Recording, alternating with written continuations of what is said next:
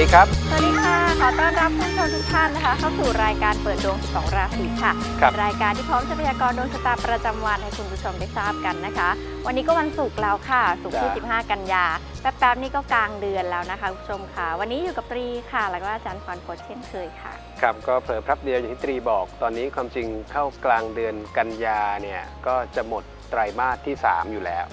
นะครับก็จะเข้าไตรมาสทีสี่ 4 ในเดือนตุลาคมนะฉะนั้นใคร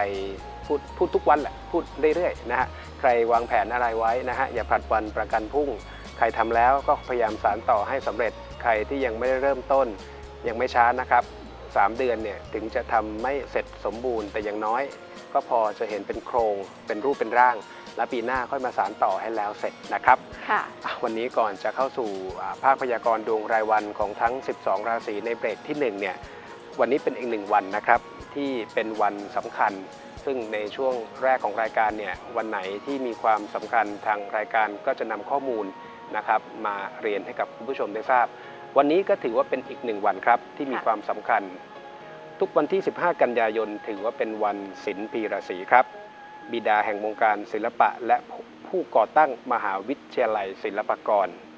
ศาสตราจารย์ศิลปีราศีเนี่ยเกิดเมื่อวันที่ 15 กันยายน ปีพุทธศักราช 2435 ที่เมืองฟลอเรนซ์ประเทศอิตาลีครับ ในปีพุทธศักราช 2466 ศาสตราจารย์ศิลปีราศีได้ชนะการประกวดการออกแบบเหรียญเงินตราสยามที่จัดขึ้นในยุโรป ซึ่งผลการประกวดในครั้งนั้นเองนะครับ ที่ทำให้ศาสตราจารย์ศิลปิรศรีได้เดินทางมารับราชการเป็นช่างปั้น ประจำกรมศิลปากร ในรัชสมัย พระบาทสมเด็จพระมงกุฎเกล้าเจ้าอยู่หัวรัชกาลที่ 6 และในวันที่ 14 มกราคม ปีเดียวกันนั่นเองนะครับ ทางศาสตราจารย์ศิลปิรศรีก็ได้รับการแต่งตั้งให้เป็นอาจารย์สอนวิชาช่างปั้นหล่อ แผนกศิลปกร สถาน แห่งราชบัณฑิตยสภาครับ ค่ะสำหรับการวางรากฐานการศึกษาในช่วงแรกนะคะศาสตราจารย์ศิลป์พิรศรีได้จัดตั้งโรงเรียน ประณีศิลปกรรมค่ะ ซึ่งต่อมาได้เปลี่ยนชื่อเป็นโรงเรียนศิลปกรแผนกช่าง เมื่อปี 2480 นะคะ ซึ่งโรงเรียนแห่งนี้ได้มีการเปิดสอนหลักสูตร วิชาจิตรกรรม และประติมากรรมค่ะ และในสมัยของจอมพลปพิบูลสงคราม เป็นนายกรัฐมนตรี ก็ได้สั่งให้แยกกรมศิลปากร ออกจากกระทรวงศึกษาธิการให้มาขึ้นอยู่กับสำนักนายกรัฐมนตรีแทนค่ะ เนื่องจากจอมพลปพิบูลสงคราม ตระหนักถึงความสำคัญของศิลปะ ว่าเป็นวัฒนธรรมที่สำคัญยิ่งสาขาหนึ่งของชาติ จึงให้มีการคำสั่งนะคะให้พระยาอนุมานราชทน อธิบดีกรมศิลปากร ในขณะนั้นค่ะดำเนินการปรับปรุงหลักสูตร และตาพระราชบัญญัติเพื่อยกฐานะโรงเรียนศิลปากร ขึ้นเป็นมหาวิทยาลัยศิลปากร เมื่อวันที่ 12 ตุลาคม 2486 ค่ะ โดยมหาวิทยาลัยศิลปากรในขณะนั้น ก็มีศาสตราจารย์ศิลปิรศรีเป็นผู้อำนวยการนะครับในการสอนและดำรงตำแหน่งคณะบดีคนแรก และคณะวิชาเดียวที่มีการเปิดสอนในขณะนั้นก็คือคณะจิตกรรมประติมากรรม ศาสตราจารย์ศิลปิรศรีก็ไม่ได้มีผลงานแต่เพียงด้านศิลปะอย่างเดียวนะครับ ที่กลายเป็นที่จดจำของเหล่าลูกศิษย์เพราะมีหลาย ๆ ครั้งที่ศาสตราจารย์ศิลปิรศรีจะหยิบยกคำสอนมาคอยเตือนใจลูกศิษย์ของตน โดยเฉพาะประโยคที่ว่า ศิลปะ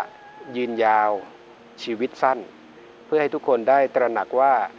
ชีวิตของมนุษย์นั้นแสนสั้นเมื่อเปรียบเทียบกับการยืนยงคงอยู่ของศิลปกรรม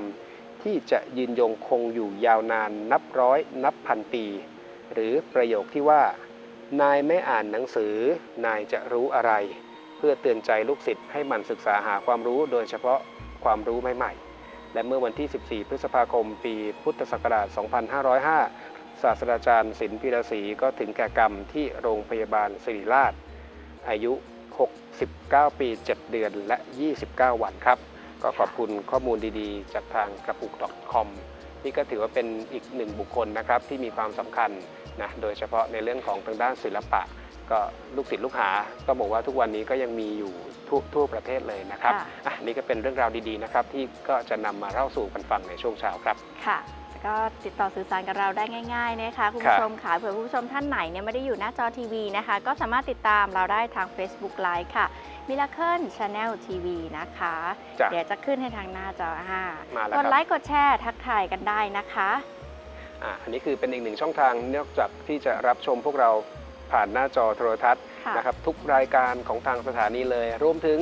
ในช่วงเย็นๆของทุกวันครับ ซีรีส์เรื่องเยี่ยม มหาเทพแห่งความสำเร็จองค์พระพิคเนตก็จะมีการออกอากาศให้รับชมควบคู่กัน ทั้งผ่านหน้าจอโทรทัศน์ รวมถึงผ่านทางช่องทางไลฟ์สดใน Facebook ครับ ค่ะ ชมกันได้ทุกวันเลยนะคะ ตั้งแต่วันจันทร์ถึงศุกร์เวลา 20 นาฬิกาค่ะ จ้ะส่วนวันเสาร์วันอาทิตย์ 18 นาฬิกา 20 นาทีนะคะ และทางซีรีส์พระพิคเนตเนี่ยก็มีจ้ะ กิจกรรมดีๆด้วยนะคะคุณผู้ชมค่ะ ก็สามารถตอบคำถามค่ะ สะสมคะแนนไปเรื่อยๆนะคะ ยังพอมีเวลาค่ะ สะสมได้ถึงประมาณเดือนธันวานะคะ ก็จะประกาศรายชื่อผู้โชคดีค่ะอ่า รางวัลละ 2 ท่านจ้ะ5รางวัลด้วยกันนะคะ ได้เป็นผู้โชคดีเดินทางไปเมืองมุมไบประเทศอินเดียค่ะ จ้ะก็ไม่เป็นการเสียเวลานะครับ ในเบรกแรกก็จะเป็นการพยากรณ์ดวงรายวันของทั้ง 12 ราศี เรามาดูกันเลยนะครับ สุขที่ 15 กันยายน ปีพุทธศักราช 2560 จันทรคติการแรม 10 ค่ำเดือน 10 ปีรากา วันนี้ใช้ชีวิตด้วยความไม่ประมาทนะครับ เนื่องจากดิถีกับเดือนตรงกัน แรม 10ค่ำเดือน 10 เป็นกะทิงวัน หมายถึงวันแข็ง อาคเนหรือตะวันออกเฉียงใต้ คือทิศที่เป็นสิริมงคลครับ ส่วนทิศที่ควรจะหลีกเลี่ยงพายัพหรือตะวันตกเฉียงเหนือ และทิศที่จะมีคนให้การอุปถัมภ์นะครับอันนี้คือทิศประจิม หรือว่าทิศตะวันตกนั่นเอง เปิดหัวด้วยชาวราศีมังกรเหมือนเช่นเคยครับ 16 มกราคมถึง 12 กุมภาพันธ์ วันนี้ให้ซื้อเวลานะครับ ปัญหาบางอย่างก็แก้ไม่ได้ในฉับพลัน วันนี้หากมีเรื่องหรือปัญหาเกิดขึ้น อย่าเพิ่งรีบร้อนตัดสินใจนะครับ การเงินการลงทุนวันนี้หากติดขัด หรือมีปัญหาสภาพคล่องให้เข้าหาผู้หลักผู้ใหญ่วงเล็บที่เป็นสตรีเพศ สุดท้ายในแง่ของความรักดีสำหรับคนโสด แต่คนมีคู่อาจจะไม่เหมาะครับ เพราะมีเกณฑ์เริ่มต้นความสัมพันธ์ใหม่ สีที่ถูกโฉลกของราศีมังกรค่ะๆหนักแน่นทั้งเรื่องงาน หนักแน่นทั้งเรื่องของหัวใจครับ กับโทนสีเขียว ต่อไปราศีกุมค่ะ 13 กุมภาพันธ์ถึง 13 มีนาคม อย่าร้อนวิชาครับ ที่สำคัญวันนี้ต้องเคารพกติกา อย่าก้าวล่วง หรือว่าแทรกแซงการทำงานของคนอื่น เงินทองก็เช่นเดียวกันครับ ไม่เหมาะกับการทำธุรกรรมร่วมกับใคร หรือแม้กระทั่งให้ใครดูแลสิทธิประโยชน์แทนตน ความรักหัวใจวันนี้ผมทายดีนะครับ โดยเฉพาะคนที่ชอบคนที่สูงวัยกว่า สีที่ถูกโฉลกของราศีกุมค่ะ วันนี้คงจะต้องเสริมในเรื่องของงาน กติกามารยาทต้องมีนะครับ กับโทนสีเหลือง ราศีต่อไปราศีมีนค่ะ 14 มีนาคมถึง 12 เมษายน การลงทุนวันนี้เขาบอกว่าอย่า จับปลาหลายมือนะครับอาจจะไม่ใช่แค่2นะคือพูดง่ายๆให้เน้นเป็นตัวตัวไปเป็นเรื่องๆไป โดยเฉพาะในเรื่องของการลงทุน หัวใจคนที่กำลังทำคะแนน วันนี้อย่าทำอะไรที่เกินตัว หรือทุ่มเทเรื่องรักมากจนเกินพอดี เผื่อใจไว้บ้างครับ ส่วนเรื่องธุรกิจการงานวันนี้เหมาะสำหรับการพูดคุยในเรื่องที่มีความสำคัญนะหรือแม้กระทั่งการเข้าหาการทับทามบุคคลที่เกี่ยวข้อง สีที่ถูกโฉลกของราศีมีนค่ะ ผมเสริมในเรื่องของการลงทุนโฟกัสเป็นเรื่องๆไปนะครับ กับโทนสีชมพู ต่อไปราศีเมษค่ะ 13 เมษายนถึง 13 พฤษภาคมครับ วันนี้เหมาะสำหรับการออกออกนอกพื้นที่นะครับ แม้กระทั่งคนที่คิดอยากจะเริ่มต้นทำธุรกิจวันนี้ให้เซอร์เวย์นะครับ มองหาทำเลที่น่าสนใจ มีโอกาสจะได้เจอ ส่วนเงินเงินทองทองวันนี้การลงทุนถ้าติดให้หยุดครับ อย่าเพิ่มน้ำหนักนะ ระวังจะมีปัญหามากกว่าที่คิด สุดท้ายในแง่ของความรักหัวใจไม่ว่ามีคู่แล้ว หรือคิดอยากจะมีคู่ วันนี้ต้องรู้จักสละความสุขส่วนตัวก่อน สีที่ถูกโฉลกของราศีเมษค่ะ เน้นในเรื่องของหลักฐานความมั่นคง โดยเฉพาะคนที่มีครอบครัว โทนสีเขียว ราศีต่อไปราศีพฤษภค่ะ 14 พฤษภาคมถึง 13 มิถุนายนฝากระวังอุบัติเหตุเรื่องการทำงานนะครับ โดยเฉพาะคนที่ทำงาน เกี่ยวข้องกับในเรื่องของพวกเครื่องจักรกลอุปกรณ์ เงินทองก็ไม่เด่น โดยเฉพาะในเรื่องของการลงทุนครับ ใครที่ทำธุรกรรมอะไรไว้ก่อนหน้า วันนี้มีเกณฑ์อาจจะต้องยุติ สุดท้ายในแง่ของความรักก็ถือว่าถือว่าดีนะ เหมาะสำหรับการรื้อฟื้นความสัมพันธ์กับคนที่คุ้นเคยครับ แต่ในทางกลับกันถ้ามีคู่อยู่แล้วก็ต้องระวังปัญหาในเรื่องของทานไฟเก่าสีที่ถูกโฉลกของราศีพฤษภค่ะ อย่างที่เรียนเนี่ยอุบัติเหตุพ่วงสุขภาพด้วยนะครับ กับโทนสีบรอนซ์ทอง ราศีต่อไปราศีเมถุนค่ะ 14 มิถุนายน ถึง 14 กรกฎาคม ชาวราศีคนคู่ วันนี้พยายามเรียนรู้สิ่งใหม่ ๆ นะ คิดอยากจะทำอะไรนอกกรอบ วันนี้ขอให้มีความเชื่อมั่น พอจะมีลาภผลนะครับ ในเรื่องของการทำงาน ส่วนใครที่มีเงินเย็น และมีโอกาสได้ลงทุนในเรื่องที่เกี่ยวข้องกับอสังหาริมทรัพย์ ถือว่าสมรูปจะเป็นโดยตรงหรือทางอ้อมก็ได้นะครับ ผู้กองทุน สุดท้ายหัวใจคนโสดให้อยู่นิ่ง ๆ คนมีคู่ให้ระวังมีปัญหาด้วยเรื่องที่ไม่ได้ขาดคิด สีที่ถูกโฉลกของราศีเมถุนค่ะ แต่เมถุนวันนี้ฝากระวังอุบัติเหตุอีกหนึ่งราศีกับโทนสีแดง ต่อไปราศีกรกฎค่ะ 15 กรกฎาคมถึง 16 สิงหาคมครับ วันนี้ต้องมีความหนักแน่นอย่าเพิ่งท้อนะในแง่ของการทำงาน มีโอกาสถอดใจหรือหันหลังให้กับบางสิ่งนะครับ ฉะนั้นใครที่มีคนที่ต้องดูแลเนี่ยลูกน้องบริวารยิ่งต้องหนักแน่นเป็น 2 เท่า สภาพคล่องโดยรวมยังพอหมุนเงินได้ครับ แม้มีความจำเป็นต้องใช้จ่ายก็สามารถสามารถที่จะบริหารสภาพคล่องได้ ส่วนความรักวันนี้คนโสดอย่าเชื่อมั่นในตัวเองมากจนเกินไป คนมีครอบครัวระวังมีปัญหากับญาติผู้ใหญ่ สีที่ถูกโฉลกของราศีกรกฎค่ะ เพื่อเหลือเพื่อขาดหน่อยดีกว่าครับ ให้มีคนอุปถัมภ์ค้ำจุนกับ โทนสีส้ม ต่อไปราศีสิงค์ค่ะ 17 สิงหาคมถึง 16 กันยายน วันนี้ไม่ว่าคุณทำธุรกิจหรือทำงานประจำผมฝากระวังปัญหาในเรื่องของคำพูด การเจรจาการติดต่อสื่อสาร การเงินการลงทุนโดยรวมยังไม่ได้รับผลกระทบนะครับ วันนี้ใครที่ทำธุรกรรมอะไรไว้ล่วงหน้าสามารถที่จะเก็บเกี่ยวใช้ประโยชน์ เริ่มจะผลิดอกออกผล ส่วนในเรื่องของหัวใจวันนี้ไม่ได้มีปัญหาใหญ่ แต่อาจจะมีบ้างในเรื่องของเวลาที่ไม่ตรงกัน สีที่ถูกโฉลกของราศีสิงค์ค่ะ ผมเสริมในเรื่องของงานคำพูดนั้นสำคัญชะไหนนะครับ กับโทนสีขาว ต่อไปราศีกันค่ะ 17 กันยายนถึง 16 ตุลาคม รู้หลบเป็นปีก รู้หลีกเป็นหางครับ วันนี้ระวังปัญหาภายในนะพวกการเมืองในองค์กรในพวกเนี้ยนะคนของใครระวังการกัดแข้งกัดขาครับ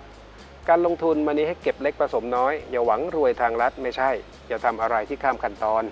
สุดท้ายในเรื่องของหัวใจ วันนี้คนโสดให้เก็บเนื้อเก็บตัว คนมีคู่เวลามีปัญหาสงบปากสงบคำครับ สีที่ถูกโฉลกของราศีกันค่ะ วันนี้เหมือนกันอะปัญหาภายในก็ต้องเราก็ต้องมีแบ็กกันนะฮะโทนสีส้ม ต่อไปราศีตุลค่ะ 17 ตุลาคมถึง 15 พฤศจิกายนครับ องค์ความรู้ใหม่ ๆ ก็ดี เทคโนโลยีที่ทันสมัยก็ใช่ วันนี้หาโอกาสศึกษาเรียนรู้นะครับนำมาปรับปรุงใช้กับงานที่ทำให้ดีขึ้น เงินทองก็เตรียมสำรองไว้หน่อย เพราะมีเกณฑ์อาจจะต้องใช้จ่ายในเรื่องที่เกี่ยวข้องกับที่อยู่อาศัย หรือแม้กระทั่งในเรื่องของการทำงานนะครับ หัวใจความรักเป็นตัวของตัวเองดีที่สุด อนาคตจะได้ไม่มีคำถามว่าทำไมคุณไม่เหมือนเดิม สีที่ถูกโฉลกของราศีตุลค่ะ ผมผมเสริมเรื่องเงินนะ วันนี้เตรียมสำรองไว้หน่อยกระโทนสีชมพูครับ ต่อไปราศีพิจิกค่ะ 16 พฤศจิกายน ถึง 15 ธันวาคม ชาวราศีแมงป่องวันนี้เป็นอีกหนึ่งราศีครับ ที่ฝากระวังในเรื่องของอุบัติเหตุ การทำงานควรจะมีแผนหรือมาตรการสำรองครับ เพราะวันนี้สิ่งที่ทำมีโอกาสจะเกิดความพลิกผันเปลี่ยนแปลง แต่เงินทองรวมถึงการลงทุนกลับด้านกันสมหวังได้ตามเป้า ความรักหัวใจวันนี้คนโสดอย่าพยายามให้เหนื่อยนะครับ ถึงอย่างไรก็เป็นได้แค่เพื่อน สีที่ถูกโฉลกของราศีพิจิกค่ะ สีเลือดหมูนะฮะเสริมในเรื่องของอุบัติเหตุ ราศีสุดท้ายราศีธนูค่ะ 16 ธันวาคมถึง 15 มกราคม ไม่ว่าทำธุรกิจหรือทำงานประจำเขาบอกว่าจงใช้ทรัพยากรที่มีให้เกิดประโยชน์นะจะเป็นการเล่นแร่แปรธาตุก็ใช่ การเงินการลงทุนสิทธิประโยชน์เองวันนี้โดยรวมก็ไม่เสียเปรียบใครนะครับ ติดขัดอะไรอย่าหนีให้เจรจาต่อรองประนีประนอม ความรักไม่เด่น คนมีคู่ในวันนี้เน้นเลยมีโอกาสทุกข์เพราะบริวารนะลูกหลานสร้างเรื่องนะคนโสดก็ระวังคนที่ไม่จริงใจครับ สีที่ถูกโฉลกของราศีธนูค่ะ บริวาร โทนสีฟ้าครับค่ะ ครบถ้วนทั้ง 12 ราศีแล้วนะคะ คุณผู้ชมค่ะในช่วงหน้าคุณผู้ชมก็สามารถเอ่อส่ง SMS มาได้จ้ะนะคะ เพียงคุณผู้ชมพิมพ์ PD ค่ะ ตามด้วยชื่อนะคะ วันเดือนปีเกิดเวลาเกิดค่ะ ถ้าอยากจะถามลัคนานะคะ ใส่จังหวัดที่เกิดมาด้วยค่ะ แล้วก็ตามด้วยคำถามต่างๆ ที่อยากจะถามอาจารย์นะคะ ส่งมาที่ 4221606 ค่ะ ครับ ช่วงหน้าลงทะเบียนสายสดนะคะ 024960493 และ 024960494 ช่วงนี้ขอพักเบรกสักครู่เดียวค่ะ จ้ะ